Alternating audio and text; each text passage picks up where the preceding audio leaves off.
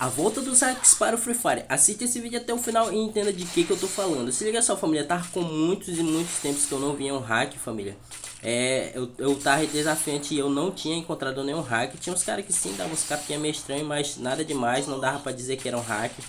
É, e família, nessa partida aqui eu encontro um hack, família.